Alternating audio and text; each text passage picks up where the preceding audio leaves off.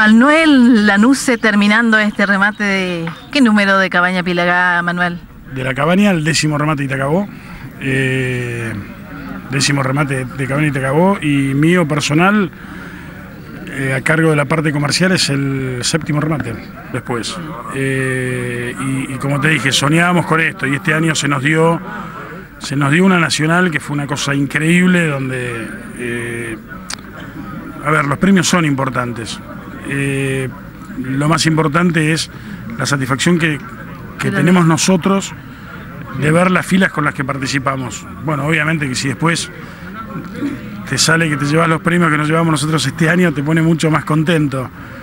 Pero bueno soñábamos con esto y, y hoy podemos decir que Cabaña Pilagá es una realidad y una realidad muy importante.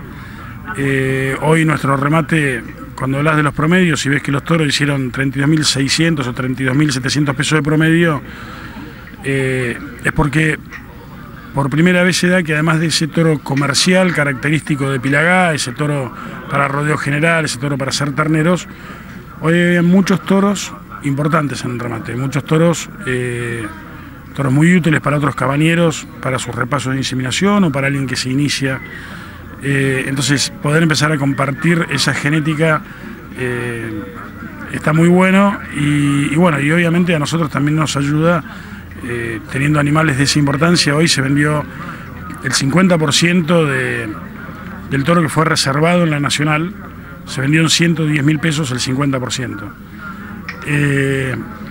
cuando en la Nacional nos decían van a vender el toro, no van a vender el toro.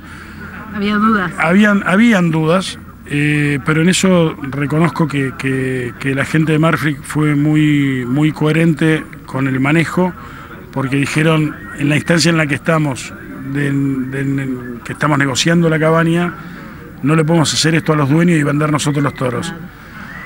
Eh, y bueno, nos pusieron la presión a nosotros de, traer la gente para poder vender un toro de estos en la plata en la que salió. y realmente, bueno, de mi parte eh, muy conforme porque realmente eh, fue un marco lindísimo el del remate, un remate ágil con mucha gente y con muy buenos precios. Déjame decirte algo, en los años que te conozco, ocho años, te conozco como una persona bastante fría, pero hoy te vi bastante emocionado y trabajando mucho con el corazón, ¿me pareció?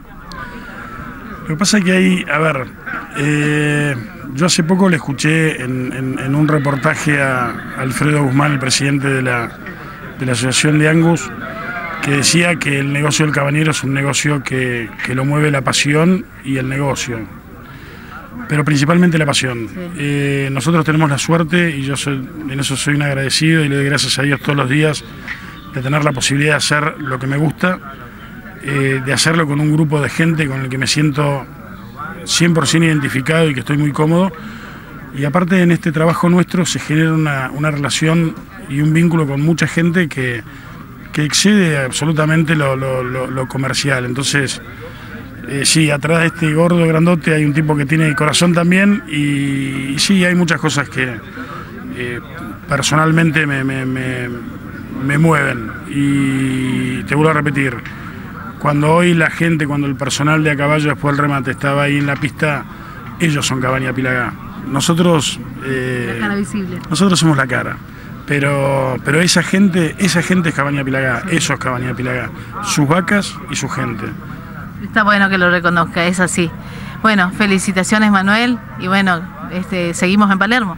Vamos a estar en Palermo y después el día 15 de agosto tenemos el remate anual que hacemos de Estancia Lombú allá en la Sociedad Rural de Formosa, donde van a salir 110 toros, entre 180 y 200 vaquillonas preñadas. Y, este año por primera vez a Formosa vamos a ir con un trío de terneras de élite porque queremos empezar a mostrar algo de esto allá también, ¿no? Bueno, por allí estaremos seguramente. Bueno, Isabel, muchísimas gracias. Eh, gracias por acompañarnos y, y, bueno, gracias por, por la cobertura y la difusión que le dan ustedes a a lo que todos nosotros, no Cabaña Pilaga, todos los que estamos en, en el negocio ganadero acá en el norte nos toca. Un placer, gracias. Gracias a vos.